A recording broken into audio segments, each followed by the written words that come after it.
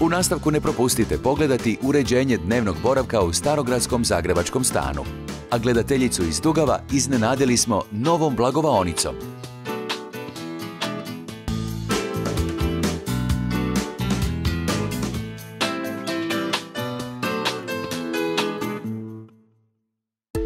U dnevnom prostoru otvorenog koncepta, gdje su nas dočekali postojeći zidovi, zadatak nam je preurediti boravak koji zauzima 20 kvadrata.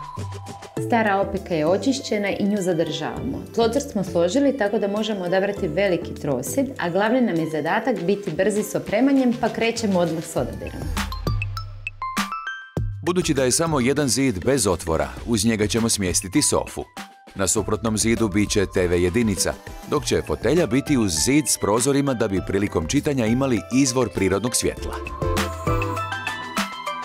Nakon detaljnih priprema i razmatranja opcija, Mirjana će sve potrebno za uređenje definirati i odabrati u lesnini.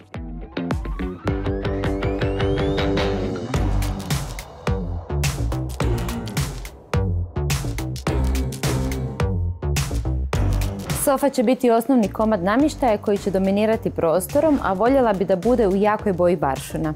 Ostatak namještaja je zamišljen u kombinaciji metala i drva, a dvoumim se oko odabire fotelje i taburea. Ovisno o tome, naravno, birat ću tepih i rasvjetu.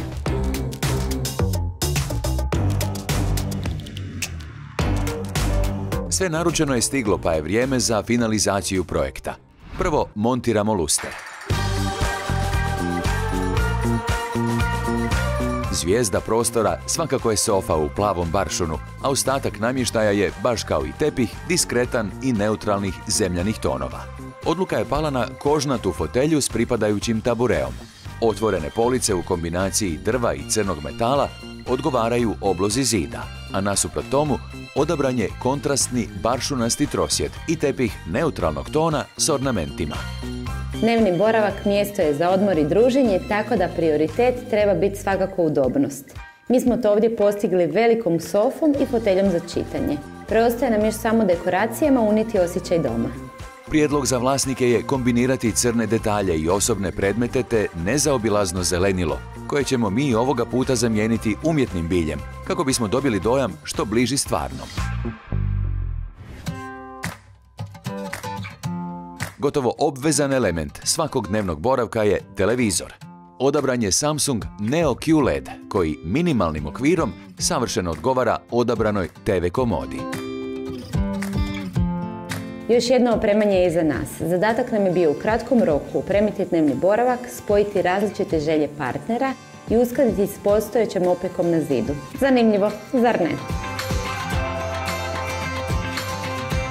Prostor je u potpunosti neopterećen namještajem. Svi elementi osim TV komode su otvoreni i idealno će poslužiti za knjige i uspomene. Zid smo uskladili s odabranim poličarima i stolićem prema željama partnera, dok smo baršunastu sofu i tepih povezali s industrijskim elementima prema afinitetima partnerice. Dobili smo cjelinu koja se savršeno nadopunjava i u kojoj će se obje osjećati ugodno. Spajanje različitih stilskih elemenata i dobro kombiniranje na koncu su stvorili jedinstven prostor.